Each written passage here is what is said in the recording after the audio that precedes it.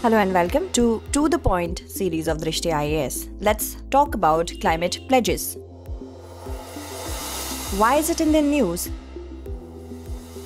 Because recently the Union Cabinet approved India's revised climate pledge, nationally determined contribution to the Paris Agreement.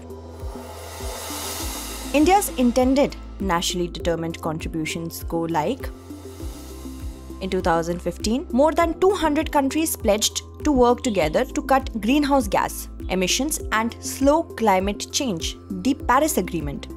The accord aims to keep global warming far below 2 degrees Celsius, preferably 1.5 degrees Celsius, when compared to pre industrial levels countries have agreed to publicly outline their intended nationally determined contributions for post 2020 climate action to meet Paris Agreement targets. INDC is a non binding national plan highlighting climate change mitigation.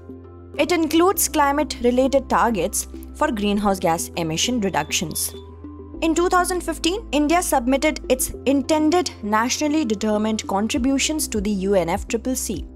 At the Glasgow meeting last year, the Prime Minister of India promised to strengthen India's climate commitments. Prime Minister made five promises and called it the Panchamrit, the nectar that Indians prepare using five ingredients. Two of these were upward revisions of existing targets. Now, let's look at the revised INDCs. India will now reduce its emissions intensity by at least 45% instead of just 33 to 35% from 2005 levels by the year 2030. It would now ensure that at least 50% of its total electricity generation, not just 40%, would come from renewable sources by 2030. An increase in forest cover to create an additional carbon sink of 2.5 to 3 billion tons of carbon dioxide equivalent, the forestry target has not been touched. Apart from above, the other targets include India will increase its non fossil fuel energy capacity to 500 gigawatts by the year 2030.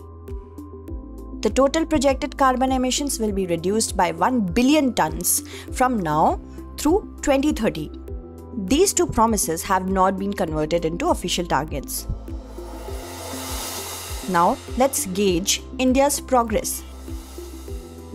India is on its way to achieve its existing targets well ahead of the 2030 timeline. India's emissions intensity was 24% lower than the 2005 levels in the year 2016 itself, the last year for which official numbers are available. It is very likely that the 33 to 35% reduction target has already been achieved or is very close to being achieved. A further reduction of 10 to 12% from here to meet the new target does not appear too challenging. The other target, having at least 40% of electricity coming from non fossil fuels, has officially been reached.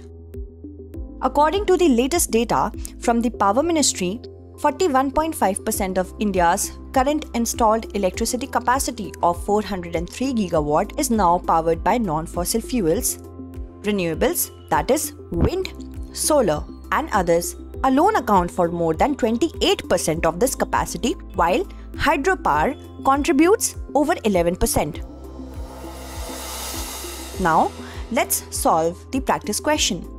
Consider the following statements regarding intended nationally determined contributions. India will reduce its emission intensity by at least 33% from 2005 levels by 2030.